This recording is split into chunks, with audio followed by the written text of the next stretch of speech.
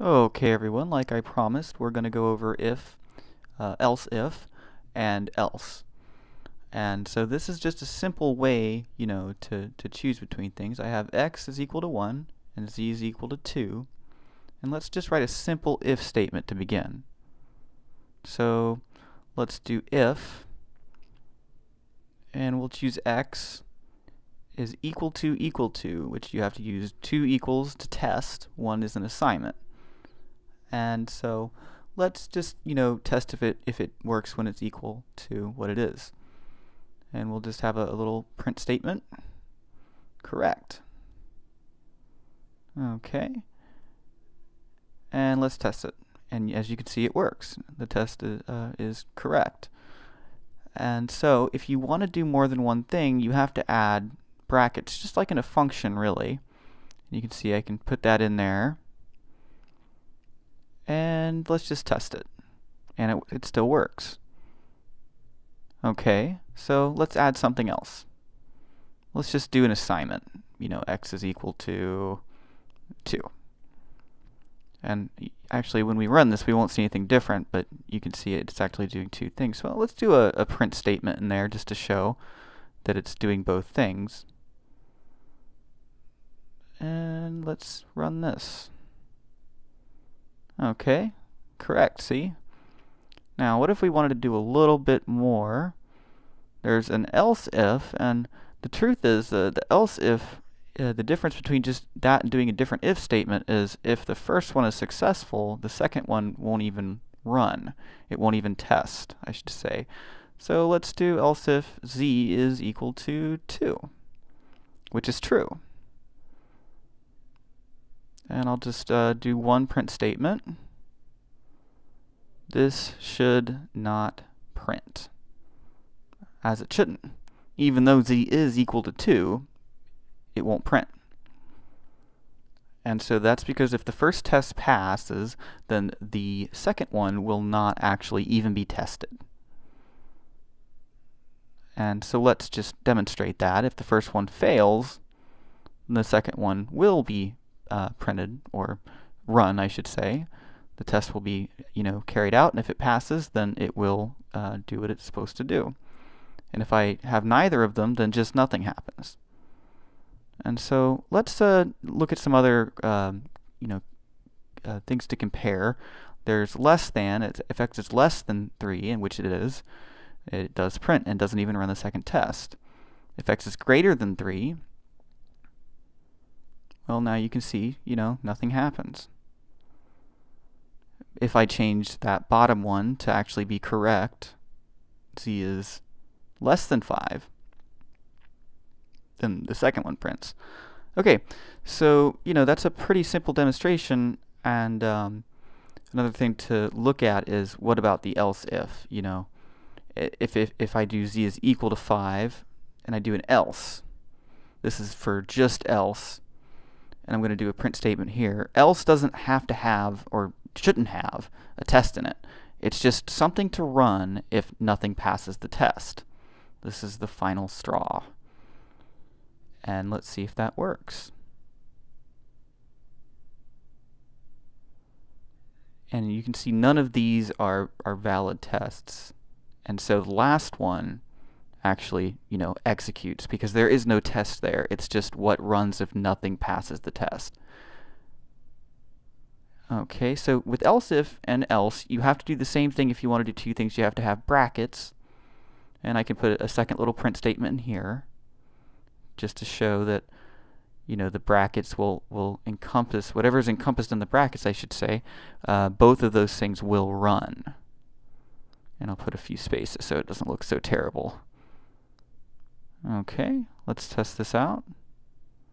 This is the final straw because I don't have a valid test. So let's make that valid first. Now let's demonstrate that it works. Okay, and so you can see it does both print statements. Okay, so with the else, it's the same deal where you would use brackets. And let's just take that and put it in there and you know let's just copy this print statement and use that as our uh, as our second thing. And let's look at it. I better change this. And you can see both things print. So that's kind of an overlook of how if, else if, and else works, but let's add them, some things to the if statement here. If x is equal to equal to 1. And I'm going to do an, an AND statement. This is a, an AND test, I should say. So I'm testing now if both of these are true. And, um, oops, I forgot the second equals there. You always have to have that, else, as you can see, it just won't work at all. And so you can see that it passes both tests. But let's let's change, you know, what if it doesn't pass both tests and does one? So it has to pass both with AND. And it gets, you know, goes down to the else because it didn't pass, you know, even though one did pass, the other didn't. What if we did an OR? Now we have one that's untrue and one that is. And with the OR, it just has to have one working. So that's the difference between difference between AND and OR you know, they're, they're uh, pretty useful when it comes to different things in programming. Now, I can do something like this, where I'm testing if either two things are correct or one thing is. And so the one thing that is correct still works, even though I'm testing two on the left side that fail. That, that or there is the thing that kind of sets me free and allows me to pass the test you know, without all of that other stuff, you know, being invalid. And so let's do something a little bit different. Let's just do three ands. So now these all have to be correct. And as you can see, it doesn't pass. And so let's do something a little bit different. For those that don't know, uh, this is a pointer, and uh, I'm just going to set this to null. And so one thing you might not know is if you try to look at a null pointer, the program will crash. And you don't want your program to crash, but we're going to kind of look at it, you know, just for teaching purposes.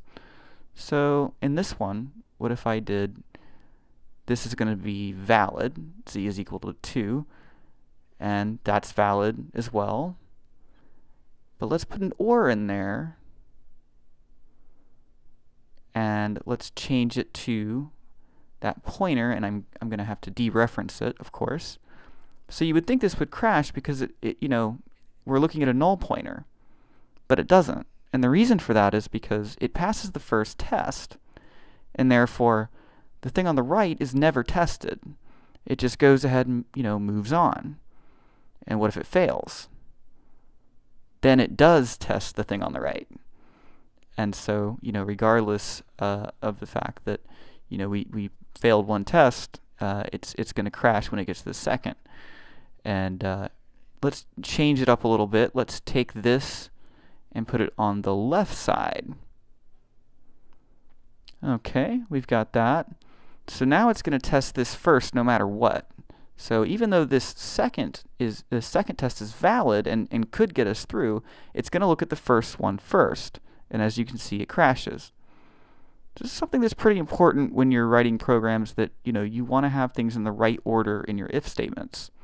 Uh, if you don't do something like that, uh, if you, I should say, you know, look at things that are dangerous before you verify them, then what you might end up with is a program that crashes even though it doesn't have to. And so I think this pretty much sums up if. Uh, I hope this helps, and have a good night.